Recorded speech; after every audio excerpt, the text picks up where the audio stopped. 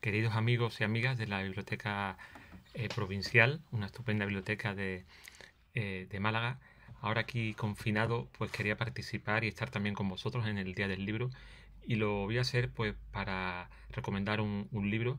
No es una novedad, pero creo que tampoco, aunque hay que apoyar, y lo hago continuamente a jóvenes autores y autoras que, empiezan, que lo tienen más difícil, quería, estoy acordándome estos días y consultando un libro que ya he leído varias veces de José Antonio Garriga Vela, un libro magnífico, un novelista estupendo, que como digo es, es amigo, y el, no estoy seguro si fue el primer libro que leí, pero cuando en abril de 2003 presenté mi primera novela, que me la presentó él, ahí fue el momento en el que lo conocí, aunque yo ya lo había leído.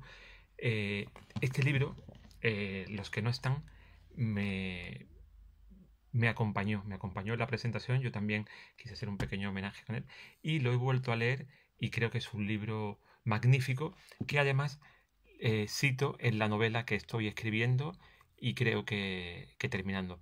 Voy a leer la primera frase que igual no dice nada, pero a mí desde luego me parece de entrada una invitación a seguirle leyendo. Cuando conocí a mis padres, yo tenía nueve años. Mi hermano era cinco años mayor, a veces seis. Bueno, esta novela de José Antonio Garriga Vera, los que no están, es una novela magnífica y es mi recomendación para, para hoy. Un abrazo muy fuerte y espero que os satisfaga.